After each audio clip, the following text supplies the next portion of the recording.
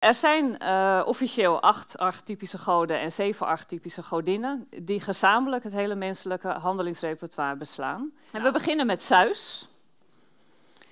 Zeus is de oppergod en dat is hij vaak ook in organisaties. Dus we zien heel veel CEO's die Zeus zijn.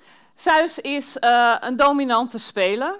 Uh, die is besluitvaardig, die durft ook risico's te nemen, die toont lef.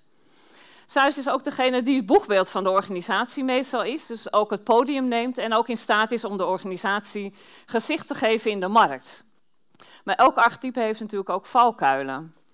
De valkuil van Zeus is, uh, als hij alleen maar Zeusgedrag laat zien, is dat hij los kan komen te staan van de werkelijkheid.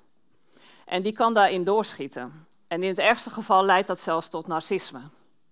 Dus ga niet een uh, Zeus de les lezen waar anderen bij zijn. Je kunt uitstekend een uh, robbertje vechten met een Zeus, maar doe dat onder vier ogen.